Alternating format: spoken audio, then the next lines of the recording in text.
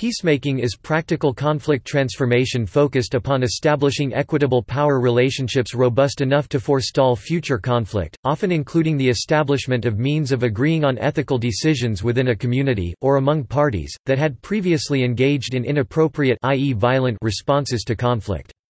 Peacemaking seeks to achieve full reconciliation among adversaries and new mutual understanding among parties and stakeholders.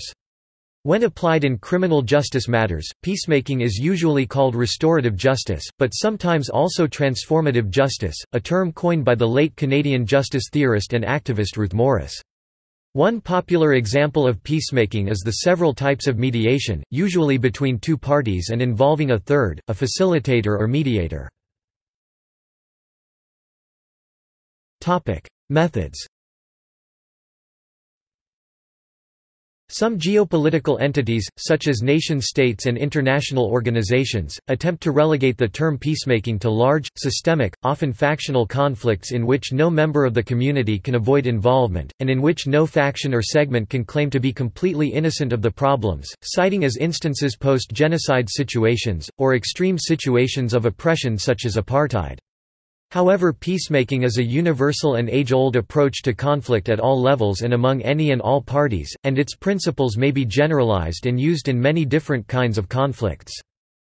In contemporary international affairs, especially after the end of the Cold War, the concept of peacemaking has often been associated to the imposition upon warring parties of a peace settlement, usually under the auspices of an international organization.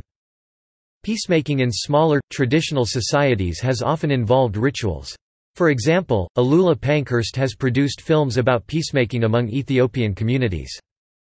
The process of peacemaking is distinct from the rationale of pacifism or the use of nonviolent protest or civil disobedience techniques, though they are often practiced by the same people.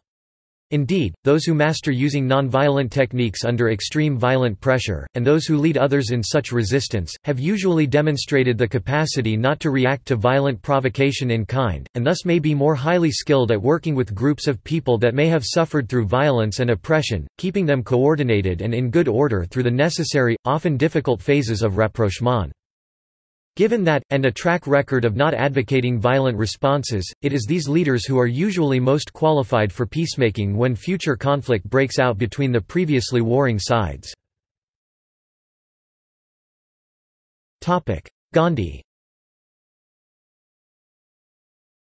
Mohandas Karamchand Gandhi is widely recognized as an important theorist of peacemaking strategies.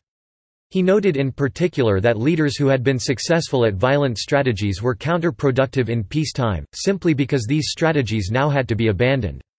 But if a movement had adulated and emulated these people, it was unlikely ever to be able to make permanent peace even with those factions it had conquered or dominated, simply because the leaders lacked the skills and had become leaders in part for their suppression of the other side. Accordingly, even if a movement were to benefit from violent action, and even if such action was extremely effective in ending some other oppression, no movement that sought long-term peace could safely hold up these acts or persons as a moral example or advise emulating either. Gandhi's views have influenced modern ethicists in forming a critique of terrorism, in which even those who support the goals must decry the methods and avoid making, for instance, a suicide bomber into a hero. Christianity The Catholic Church has changed its view on peacemaking over the centuries. Some early Christians refused to join Rome's imperial army. A doctrine of a just war theory originated with Saint Augustine of Hippo in the 5th century. Versions of just war doctrines have claimed that countries and people should keep peace at all cost. The right of a ruler to go to war must meet the criteria of just cause, comparative justice, competent authority, right intention, probability of success, last resort, and proportionality. The Colombian conflict is the present-day, prime Catholic example. The tradition of Christianity continues to be taken up by those who seek peace. Jesus taught, All who take the sword will perish by the sword. Matthew chapter 26 verse 52, Nab 20 years after the cessation of the Reichskonkordat, Pope Paul VI proclaimed No more war, war never again, address to United Nations General Assembly, October 4, 1965 retweeted by Pope Francis Sept. 2, 2013 Christians teach that a great false peace will soon be made. See also Peacemakers. Two-level game theory. Peace Direct. Peace. Peacekeeping. Peace enforcement. Christian peacemaker teams.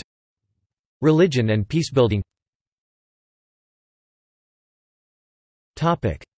References.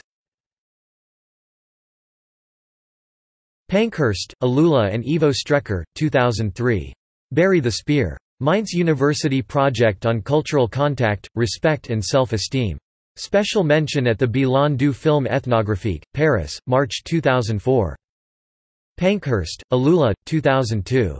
Calling Peace and Cursing War. Video film in co-production with Lubo Film. About a peace ceremony in southern Ethiopia bringing together 12 groups seeking to resolve conflict. External links UN Peacemaker, United Nations Marquette University Center for Peacemaking Sharing risks applied through game theory, the presentation of the Eurocorps Foreign Legion concept at the European Parliament in June 2003 National Conflict Resolution Center NCRC